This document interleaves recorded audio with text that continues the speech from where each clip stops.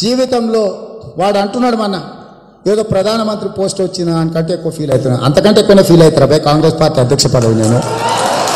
ప్రధానమంత్రి ఏంది నిద్రపోతున్న దేవగౌడ కూడా అయింది నిద్రమబులు ఉన్న దేవగౌడను కూడా పిలుచుకపోయి కుర్చీలో కూర్చోబెట్టారు. జార్ఖండ్లో మధుకోడ అని ఒకడే ఇండిపెండెంట్ గెలిచినోడు ఒక్క ఎమ్మెల్యే గెలిచాడు ముఖ్యమంత్రి కూడా అయింది కానీ కాంగ్రెస్ పార్టీ అధ్యక్షుడు అవడం అంత అల్కా గారు మీకు తెలుసు కదా. మన దాంట్లో అధ్యక్షుడు కావాలంటే ఎన్ని ఉంటాయి. అవునా? మరి అట్లాంటి కాంగ్రెస్ పార్టీకి అధ్యక్షుడు ఆయన నేను గర్వంగానే ఫీల్ అవుతా. బరాబర్ ఫీల్ అవుతా. కాంగ్రెస్ పార్టీ అధ్యక్షుడు అంటే నాకు నిజంగా గౌరవం గర్వం కూడా. గొప్పగా చెప్పుకుంటే కనుక నేను కాంగ్రెస్ పార్టీ అధ్యక్షుని తెలంగాణ రాష్ట్రం ఇచ్చిన పార్టీకి నేను తెలంగాణలో అధ్యక్షుని అంటే ఇది గొప్ప గౌరవం గర్వం కూడా. మనందరం గర్వపడేది. మిత్రులారా అందుకే ఇవాళ బోధన్ షుగర్ ఫ్యాక్టరీ మళ్ళీ తెరుచుకోవాలన్నా మాటలు చెప్పి మోసం చేసిన పార్టీలకు ప్రభుత్వాలకు బుద్ధి చెప్పాలన్నా పసుపు బోర్డు తెస్తా అని గుండుకు పంగనామాలు పెట్టిన గుండుకైనా ఇవాళ గుణపాఠం చెప్పాల్సిన అవసరం ఉంది. అరవింద్ యువమిత్రుడు రాజకీయాలలో పైకి రావాల్సినోడు.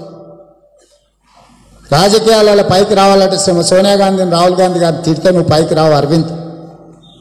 నువ్వు నాకు బాగా పరిచయం నేను నీకు మంచి కోసం చెప్తున్నా. నువ్వు ఇంటికి పోయినాక అన్నం తిన్న తర్వాత మీ నాయన దగ్గర కూర్చో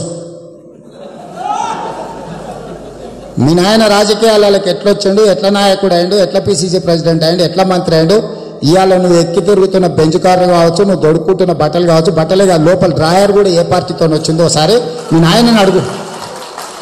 నేను మిత్రుడిగా సూచన చేస్తున్నా. నోరు జారొద్దు సుమా అరవింద్. నోరు జారొద్దు సుమా అరవింద్ నేను చెప్తున్నా. నువ్వు మా గురించి మాట్లాడితే పర్వాలేదు. ఇక్కడ స్థానిక రాజకీయ పరిణామాల వల్ల ఒకవేళ నువ్వు ఏమైనా మాట్లాడితే మాట్లాడవచ్చు కానీ శ్రీమతి సోనియా గాంధీ గురించి నేను మాట్లాడినావు అంటే మంచిగా ఉండదు అరవింద్ నేను చెప్తున్నా నువ్వు. మళ్ళా ఇందో నువ్వు ఇంకో ఇంకో వైపు చూడక అరవింద్ నేను చెప్తాను ఇంకోవైపు చూడే ప్రయత్నం చేయకు.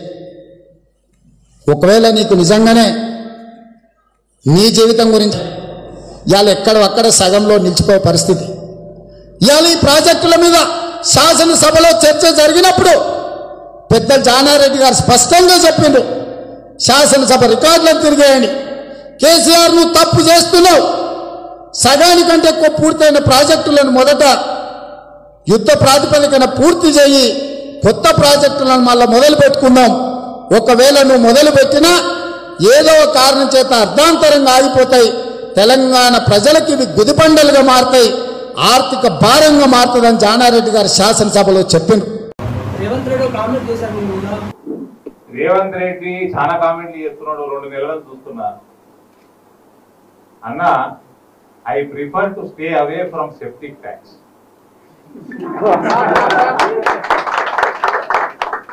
septic ట్యాంక్కి నేను ఎప్పుడు కూడా దూరం ఉంటాను. దగ్గరికి పోను.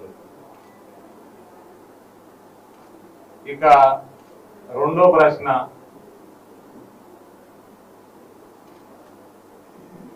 డి సంజయ్ గారు